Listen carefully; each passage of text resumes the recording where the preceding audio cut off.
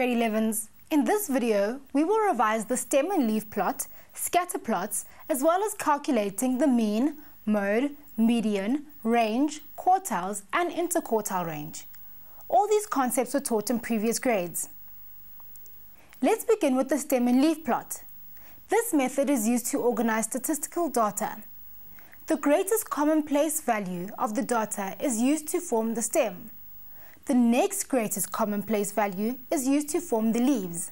Let's do an example to remind ourselves how to do this. Put the data into a stem and leaf plot.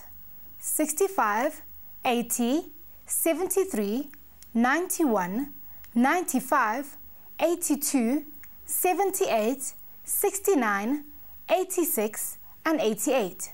First we draw the stem and fill in the values for the stem. Remember that this 6, 7, 8 and 9 represent 60, 70, 80 and 90. The first number is 65, so we put a 5 in the 60 row. We'll also cross out 65 so that we remember that we've plotted it. The second number is 80, so we put a 0 in the 80 row and cross out 80. Next, we have 73 and 91 and 95, 82, 78, 69, 86, and our last number is 88. The stem and leaf plot has made it easier to order the data. We can now see that the data ranges from 65 to 95. These plots are very useful if we need to find the quartiles and interquartile range. But before we revise that, let's take a moment to look at scatter plots. A scatter plot is used to show the relationship between two sets of data. Points are plotted onto a graph and a line of best fit is drawn through them. Data could follow a linear, quadratic, or exponential trend. The strength of a relationship between two variables in a scatter plot depends on how close the data are to the line of best fit. The closer the points are to the line, the stronger the relationship. If the points are further away from the line of best fit, the weaker the relationship. If the line of best fit slopes up to the right and has a positive gradient, then the linear relationship is positive. If the line of best fit slopes down to the right and has a negative gradient, then the linear relationship is negative. Now let's revise the mean, mode, median, range, quartiles, and interquartile range. The mean is also known as the average. The mode is the most commonly occurring observation. The median is the middlemost observation. The range is the highest observation minus the lowest. Quartiles are the measures of dispersion around the median. Remember, there are three quartiles. The lower quartile, or Q1, this is the median of the lower half of the values. The median, or Q2, the value that divides the data into two halves. The upper quartile, or Q3, this is the median of the upper half of the values. These quartiles represent three boundary values that divide the data into four parts. Remember that before we find the quartiles, we need to arrange the data in ascending order. Let's look at an example and see if you can remember just how to calculate these. The following set of 12 marks was obtained for a class out of 100. 18, 32, 43, 54, 55, 61, 73, 78, 89, 90, 91, and 99.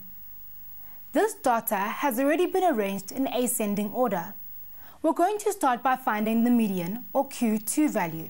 We cross off the first and last numbers, then the second and second last numbers, and carry on crossing out until we get to the middle.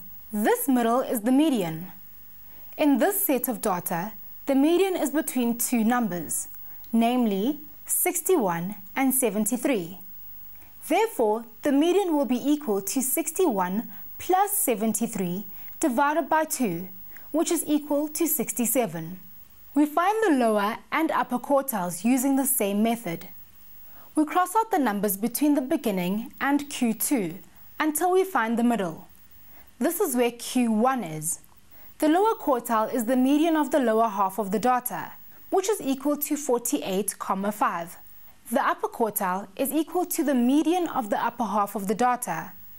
The upper quartile, Q3, is equal to 89 plus 90 divided by 2, which is equal to 89,5. Now that we have the quartiles, we can calculate the interquartile range. The interquartile range, or IQR, is equal to the upper quartile minus the lower quartile. 89,5 minus 48,5, which is equal to 41. The semi-interquartile range is equal to the upper quartile minus the lower quartile divided by 2. So 89,5 minus 48,5 divided by 2, which is equal to 20,5.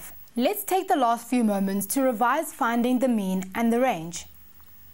We'll use the same set of data as the previous example. To find the mean or average, we add up all the values and divide by the number of pieces of data.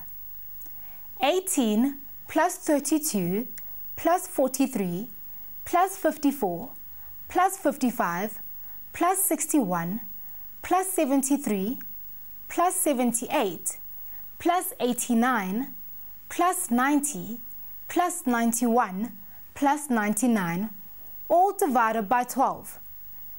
The mean is equal to 65,25. The range is equal to 99 minus 18, which is equal to 81. There is no mode as each result only occurs once. Thank you for joining us. Practice what you have learned by trying to do the questions on Working with Statistics task video. You'll also be able to learn more about statistics on our website www.mindset.co.za forward slash learn. Goodbye.